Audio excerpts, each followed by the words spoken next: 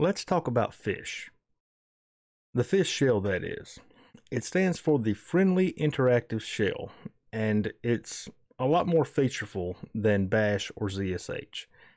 And I've been playing around with fish for a little while, and I've resolved to make a video about it, but work schedule got crazy and I had to put it on hold for a bit. But now, I want to go over some of the best features of fish, in my opinion, and reasons why you might want to make the switch after the bump.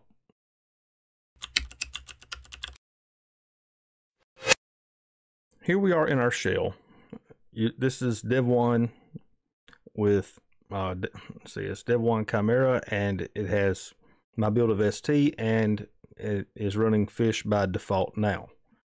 So one of the greatest things that I have found about fish, and what really drew me into it, this one feature in and of itself was the main draw for me, was the auto completion.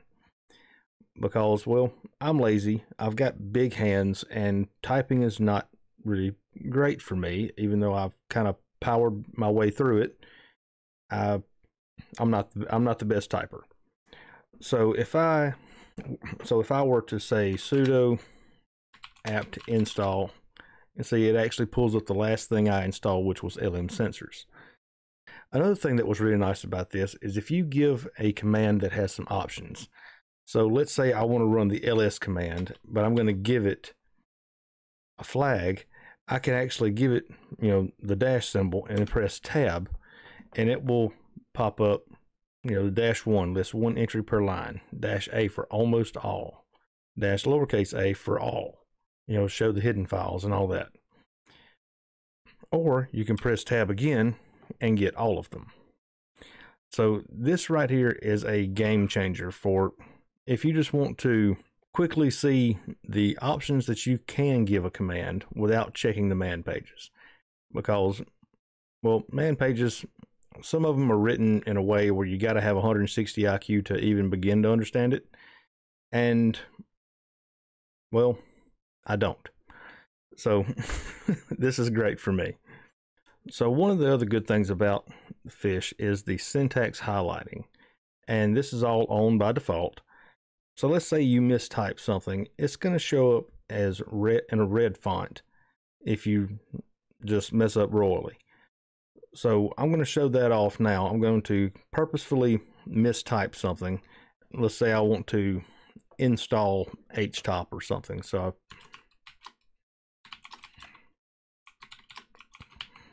you see that I said sudi instead of sudo apt install htop. So if I hit enter here, it's going to say it doesn't know what sudi is. So sudo apt install htop.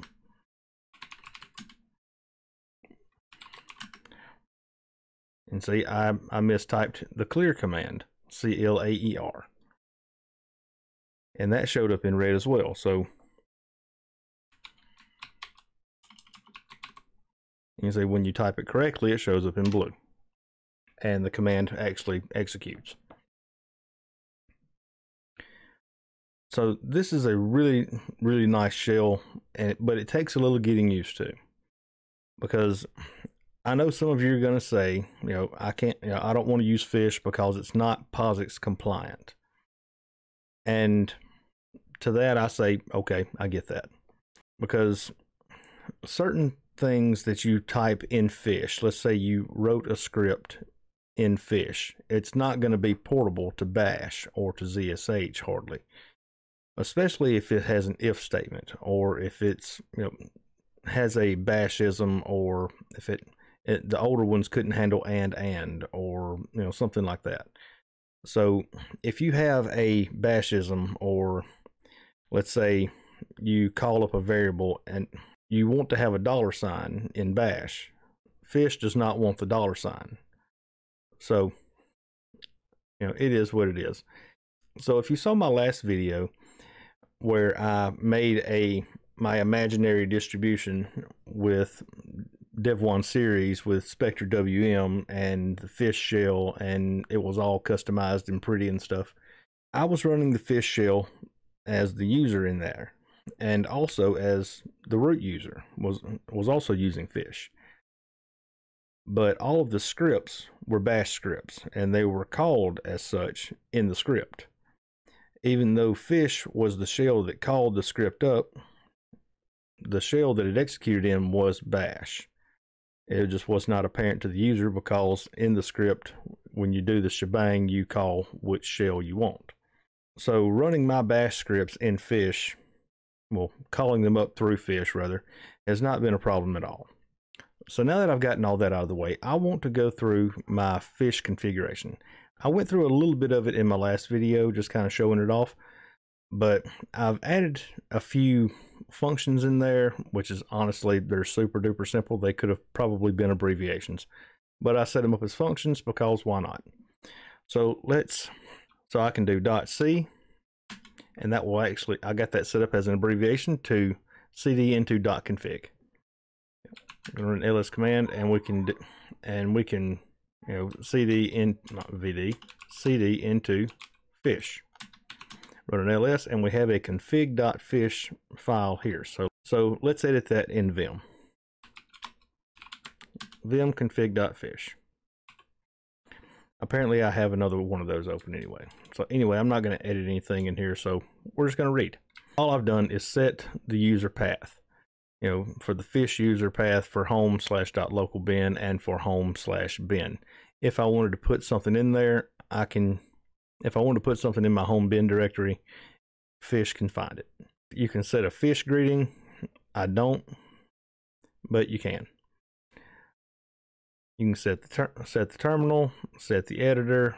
I set visual to equal Geany, so that way if I have a GUI editor, I can just call it visual and it'll pull up Geany if I have it installed in the system. And I have browser set for Firefox ESR. Now here's where I had Vim mode key bindings. This is where you set that. But once those were set, I had a hard time getting the sudo bang bang command to work properly. But luckily, a little a short little search on the internet got that got that all figured out. So once I get past that and I go through my get through the prompt configuration and all, uh, actually I just copied this prompt configuration from the little website that you can pull up to edit your prompts and stuff because I just wanted to I liked this one and I want to keep it and I don't want to fool with having to set it every time I can just pull in my fish config and there it is so now we're getting into the custom functions that I wrote well other than this one for the sudo bang bang replacement. This one, the custom function for line counting. So I have a function named line dash count, and all that does is wc dash l. So I'm going to pull up a terminal, I'm going to make the font bigger, and I'm going to show that function. So let's say I'm going to do, I'm going to make it even bigger. So let's say apt list dash dash installed pipe through line count. Also another one that I have is count installed because if I actually run time on this, why I'm worried about this minuscule amount of time, I don't know, but you see this one takes 125.8 milliseconds. See, I can run this same command. So let's say count. So it's time count installed. See, that one runs in 24.8 milliseconds. And the function count installed, all it runs is dpkg-l pipe through grep-c and then looks for the beginning of the the beginning of the line ii and pipes that through string trim just like all the rest of the functions that I have. Another one is just for listing installed programs, but I'm not going to fill up the terminal with that. I mean, well, I can. I mean, so I'll just clear the screen and just do list installed.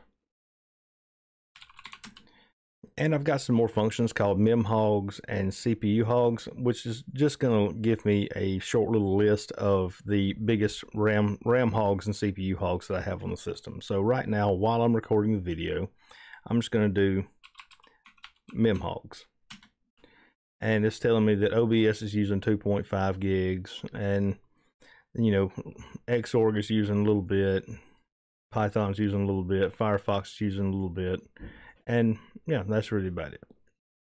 And QEMU is using a little bit because I still have a virtual machine running too. Another one that we can do is CPU hogs. And you can see OBS is using them is using by far the most because I'm recording HD video at the moment. Uh, Firefox is using some, QEMU is using some. So this function called resolution was actually the first one that I wrote because I wanted to see that it could call more than one thing and still work. So what I wanted to do is call up xrandr. And it's looking for this star right here. So when I run xrandr and I pipe it through grep, I'm looking for a star. You see, it gives me these right here. It gives me this output. So you see that I have three 2560 by 1440 monitors. None of them match, but they're all the same size, which is okay. and then I just use the sed command to get rid of the 59.95, you know, yada, yada, yada. So all I'm left with is just 2560 by 1440, you know, three times. So if I just just type in resolution, this is all the output that I get. Another one that I've got is just for checking how much is available in my home part in my home folder and how much is being used in my home folder. So how much is being used in my home folder is I just named it HDD. And it says that I've got 7.8 gigs used and it's 1% because it's on a terabyte SSD another one. Actually, let me make this a little larger. This one's just called avail, so for short for available. It says that I have 776 gigs available in my home folder. And that's pretty much all of the functions that I have. Now, one of the big differences that I, that I really like about Fish over Bash is the fact that they use abbreviations instead of aliases. Whereas if you go through your bash history, you're going to see a bunch of aliases that just show up. If you're not the main user of that system and you go through the bash history, you're not going to know exactly what all those aliases are, especially if they're not in your bash RC. Whereas here in Fish, you have these abbreviations. So if I clear the screen and I run df, it automatically runs df-h. Or if I run free, it automatically runs free-g. Over here, I have abbreviation set for reboot for sudo reboot, or shutdown is sudo shutdown now. Another one that I have is for my virt-manager networking to start. So if I do virt network, you see it changes to sudo virsh net start default. I also have a few a few abbreviations just for navigating the shell itself. So let's say if I wanted to, I don't know, dot C, and that takes me to config, I can hit H to go home. Or if I went to user local bin, I can hit dot dot and it takes me back one directory or where I can hit dot dot dot and it takes me back two directories. Or if I wanted to you know, get a long listing, LL. Or long listing with almost all of them, LA. Or if I wanted to get, or just go home and I want to list just the dot files, ls period, or ls dot. And that lists just the dot files. I also have one set up for Q for exit. Uh, I can hit D and just go to downloads. I can hit C just to clear the screen. And so, but if you go back through all of these, you, you don't see any of the aliases or any of the shorthand abbreviations. It's all the commands written out, except for, of course, your functions your functions are going to be listed as, well, your functions. So that's about all I've got for right now. I've only been using Fish for a couple of weeks and I have really, really enjoyed it. It has been a fantastic experience and I just wanted to kind of show the things that I've done to make my terminal life a little easier. And if you're interested in any of this kind of stuff like this and you want to use some of my stuff, I'll have it over on my GitHub page and I'll link that down in the description below. So, with that said, thank you for watching. Y'all have a nice day. Like, share, and subscribe.